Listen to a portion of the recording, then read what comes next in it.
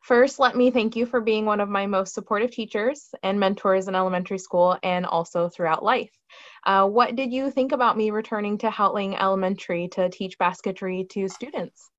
Well, Stacey, I was so honored and proud when you asked me if, if we could chat about this. Um, and I'm so proud of you and your journey.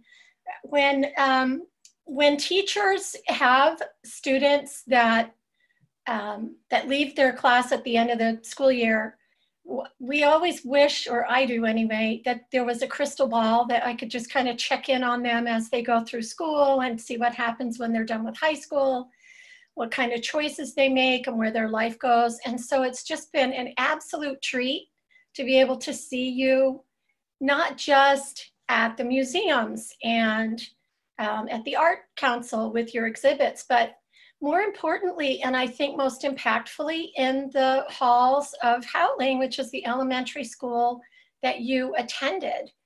And to have you come back to be a teacher peer with your former teachers, myself included, has just been an absolute treat and, um, and one of the most wonderful things that, that teachers can see and experience. The fact that you are poised and composed and skilled and a natural, really, like I've always thought you can't make a teacher, a, a, someone has a teacher's heart and you can help them to, to perfect their craft, but you can't force teaching onto someone. I don't believe it has to be, uh, you know, a vocation as much of a profession. And I think you've got that. You've got that skilled teacher's heart and the ability and the wherewithal and the desire to share that with others is just tremendous. And so it's been, um, it's really kind of been a dream come true to see you bring your skills back to uh, the elementary school that helped you on your way. Thank you. So often I will very gladly run into you in the hallway before or after my lessons. Yeah. Even in the hall, there is a lesson for the students that you are walking with. What's your favorite takeaway from our little random encounters? I have a couple actually. Um, this is this really was um, is something really good to to think about and to and to focus on. Um, from the moment that uh, I see you and we greet each other and we explain our connection, the fact that you're a former student and someone who, uh, who walked the halls of Houghtaling as a student and that you've come back is an incredible role model and kind of, uh, I'd say like morale boost for students um, who are thrilled and encouraged when a grown-up comes to share something with them not not just their their teacher, not just a specialist that's in the building every day like I am. Um, and so that just that in itself, just having you there, I think is huge for kids to see. But you've always been so uh, patient and willing to share with the students. Usually I'm walking back and forth with a, a, group of a couple of first graders to get a couple of second graders. Um, but those few minutes that we have, that's a teaching moment for them. You've shared your materials, you've talked about which class you're going to. Some of them have siblings in those classes with those teachers. You show them the project that they're going to work on. You've had tubs of your kind of raw um, bundled cedar before um, on the floor by your feet and you've take them, taken them out and let the kids hold those so who knows how many future weavers and harvesters you've inspired just in those moments of passing in, in the hall. For, for me personally and very selfishly, uh, I just love to see you who have become such, uh, I'll say mature, but that's not an age joke, uh, a mature and poised and learned person uh, and the fact that you demonstrate for kids and for me and for the teachers whose classes you go into and for all the teachers that know that you're in the building, what you demonstrate is that you are a lifelong learner. And we talk about that a lot at school, right? And it's not just book learning. That learning is dance and it's language and it's nature and it's it's math and it's pattern and it's all the things that you bring to your weaving and to your instruction and to demonstrate to all of us and especially to the elementary kids that you're there to uh, work with and to teach um, that lifelong learning that learning doesn't stop and that it isn't just one path that there are all sorts of things that students can do now and in the future. That's really powerful. And and if you did nothing else but but touch one of those kids in that way to kind of open something in their head that lets them think i could do this too or to seek out culture camp in the summer right? Or or to go to uh, the totem heritage center and really um, review uh, the exhibits like after covid. And uh, you know and to and for teachers to again after covid be able to take students to um, see the the pieces in Saxman and the pieces at the Totem Heritage Center and there's a great exhibit at the the local Ketchikan Museum now as well with some beautiful um, uh, Alaska Native art uh, pieces uh, and cultural pieces in there that that you know might spark those kids to just go check it out and then perfect those skills on their own. So we appreciate having you back anytime. How do you incorporate cultural lessons into your studies? And have you noticed a change or progression in what you can share throughout the years? Absolutely yes to that second part of that question. Um, when I, my um, instruction now is as a reading specialist, so I have small groups of students, not a whole class of 29. Um, when I did have whole classes, one of the things that I used to do, um, in addition to uh, the kinds of field trips that we just talked about, right, to the Totem Heritage Center, to um, see the carvers and the carving and the, the totem poles at um, Saxman and the Beaver Clan House, um, in addition to that, in class, I, I, I've always been fascinated by the natural abundance that indigenous peoples, certainly in, in the whole state of Alaska, but especially in this part of Southeast, utilized the everything from the woods, everything from the water, everything from the beach. Uh, it was and is for, for many people, but certainly historically, was uh, an incredible balance on the land.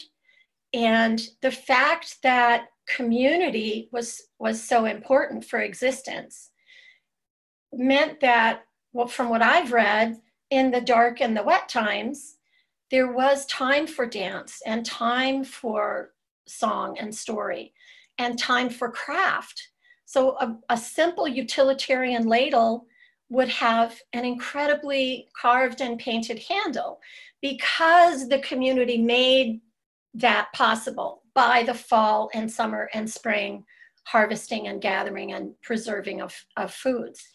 Um, and so I, I always tried to, I'm certainly not expert, but I, I tried to stress to all students the incredible balance on the land that, um, that the indigenous peoples in this state um, had and the, and the way uh, folks lived for the most part.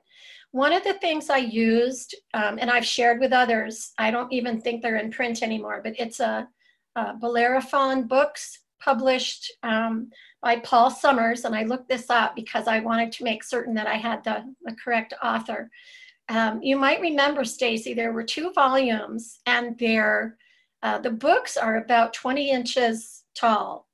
Um, and each totem pole is in two or three different pieces. So once they're colored, they're line drawings. And once they're colored using traditional colors with crayon or colored pencils, but that gave us the opportunity to talk about natural pigments, right? Where, where did that white come from? How, how did the, the, the black and the red that that highlighted those form lines. How, how were they produced? And, and the poles represented in those books are Haida poles and, and Tlingit and Tsimshian poles, mostly Haida and Tlingit. They're in Klawock. They're in Saxman. So, so we could actually go see the pole that the artist rendered in a line drawing and talk about the story not my story, but stories that I had read or stories that had been told to me from others whose stories they were, or that they had heard stories from other people. And I always tried to make that really clear as well. This isn't my story, this is what I've heard. But the fact that there was that connection between what we could talk about in class and what we could see in Saxman or at, uh, at Totem Bight or what they would have seen with relatives in Hydaburg or, or in Klawock on Prince of Wales Island, that that was an, a real connection to one very obvious and dominant piece of culture, cultural art and, and tradition. That was decades ago. And, and happily, since then, um, there has been in our schools, even with the loss of the Johnson O'Malley program that I think we still had when you were in school, Stacey, um, and elder uh, women came and um, talked about fish camp and talked about their experiences as little kids and helped us to learn how to bead um, and to make little octopus bags and, and shared their traditional craft with us. Um, but, but sadly, we lost that funding and that experience and that connection with elders, I think is so, so important. But there has been a resurgence in language at school, in um, cultural education when COVID wasn't so much of a thing, uh, the opportunity for Tlingit Haida dancers to come and share um, their, uh, their dance and story and song with us, celebrations of Elizabeth Peratrovich Day as, as a powerful Alaskan woman, right? Early civil rights, powerful activist leader. Um, and that never used to be something that was celebrated in such a way at school. And to see that happen now I think is um, is far too late and maybe far too little, but it's really encouraging that um, all of our students, but especially the 30 to 40% of our school population that is Alaska Native students, um, see the importance of celebrating these, these artists, these activists, these storytellers.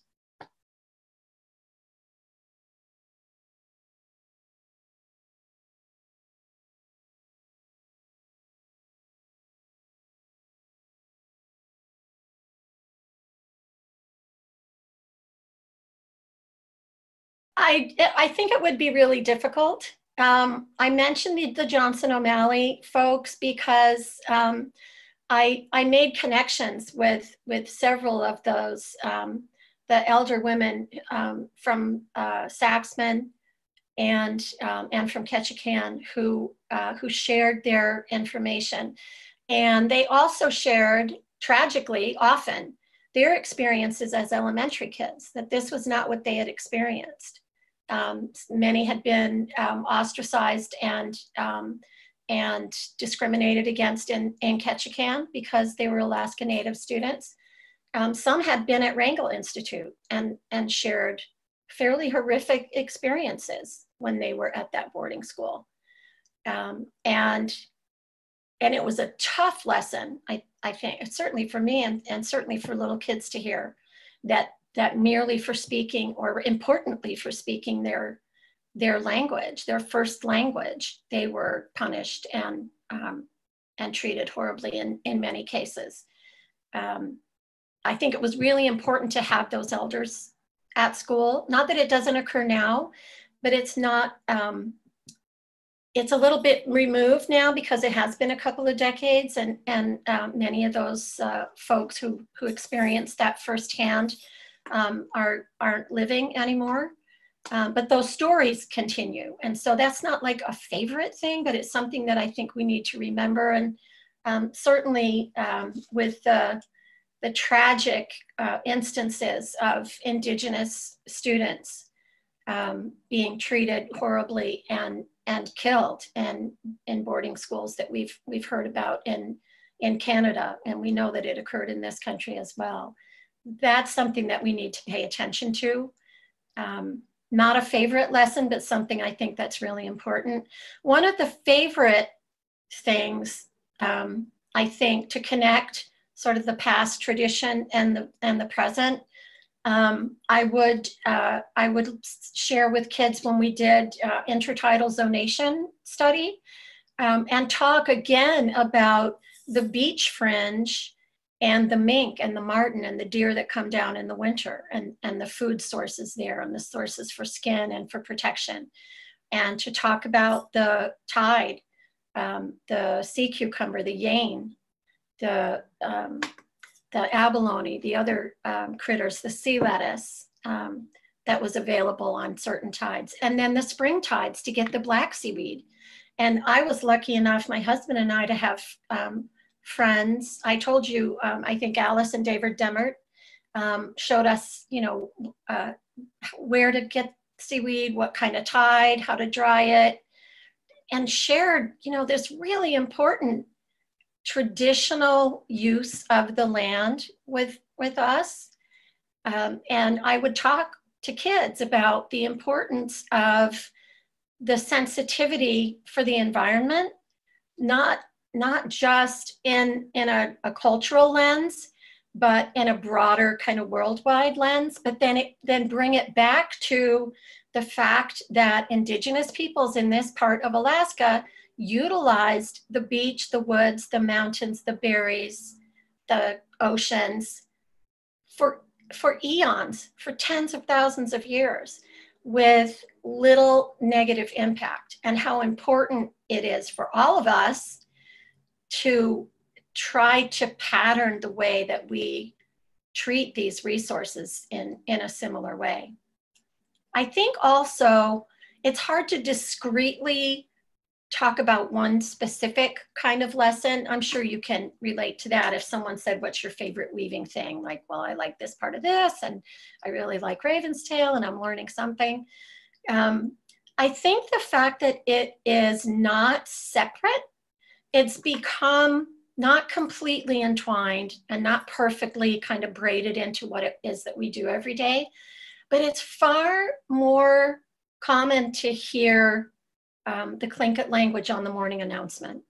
Um, it's far more common to see in the halls and classrooms uh, posters of, of foods that you can find on the beach. Um, and, uh, and pictures of um, regalia and and elders um, in, in, perhaps in their dance robe or a mask or a or a headdress.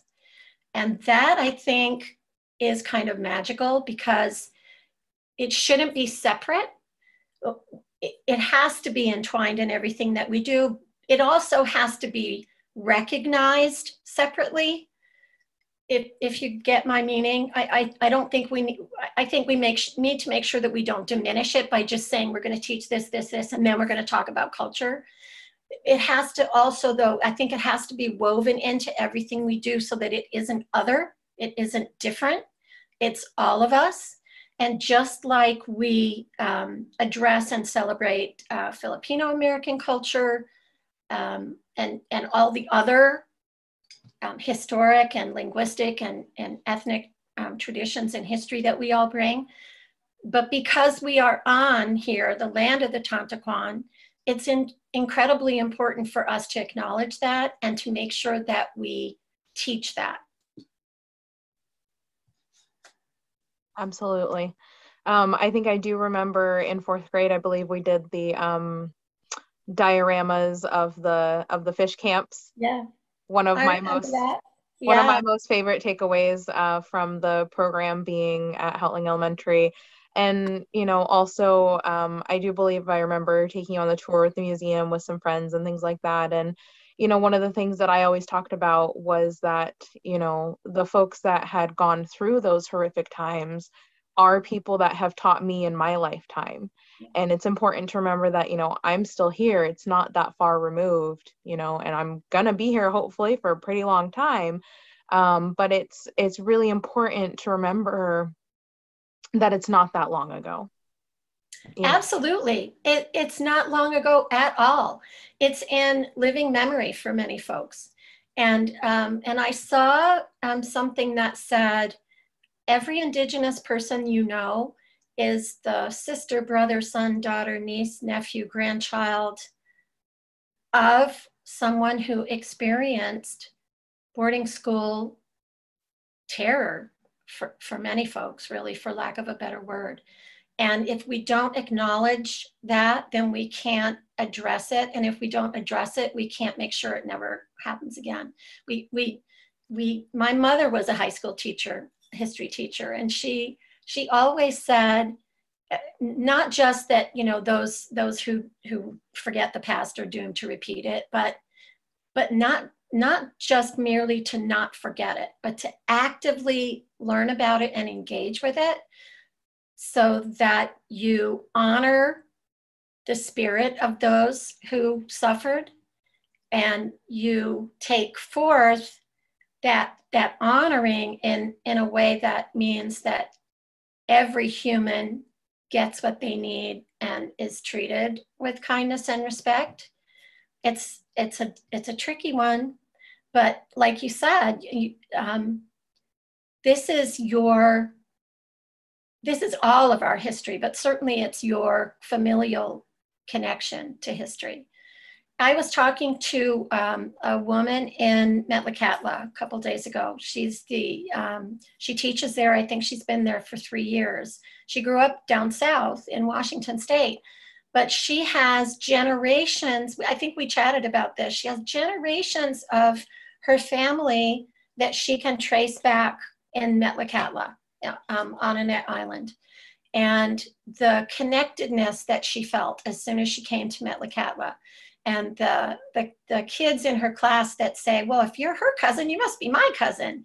And and you know that i think as i alluded to before the kind of connection the kind of you call it plaiting when you braid things um, that braiding together of culture and language and tradition and family and the absolute necessity to lean on one another means that you you couldn't exist on your own and and the fact that community and family is so important and community and family have been so detrimentally impacted by colonization in this area in many parts of the world, but certainly in Southeast Alaska. It, we need to acknowledge that and we need to teach that truly and honestly um, and we need to assure that um, it doesn't ever happen again, but we don't need to sweep it under the rug.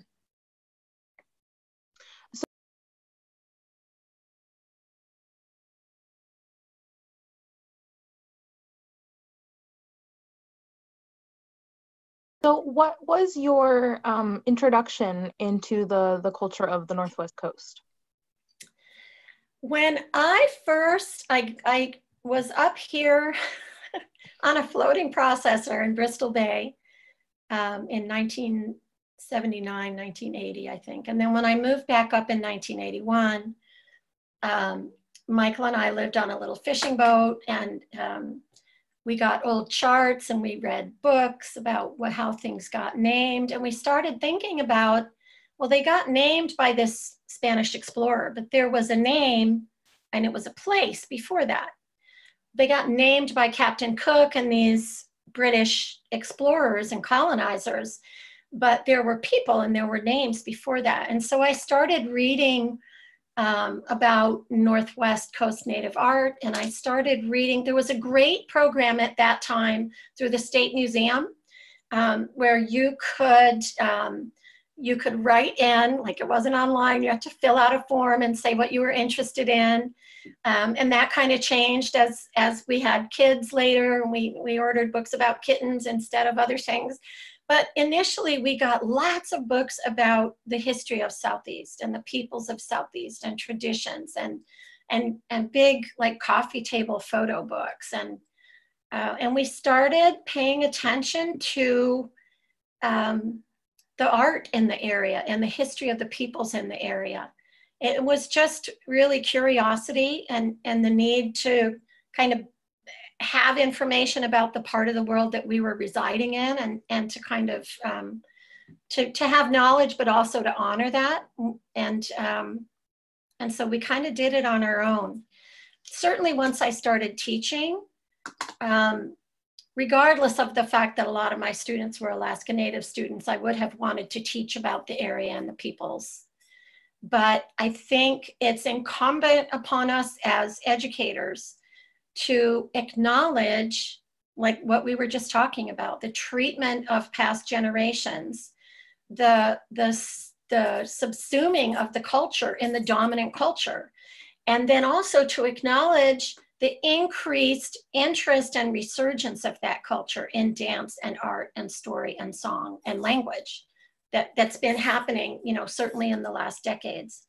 Um, and, and so as a, as a lifelong learner, I, um, before we talked about cultural standards, we have wonderful ones in the state now. Uh, before I was on a committee la this last year to, um, to really revamp our um, certified um, teacher evaluation to include um, some information on the cultural standards so that we're assured that we are incorporating that information in our, our daily lessons or certainly in specific topics at, at which might be um, more appropriate at secondary.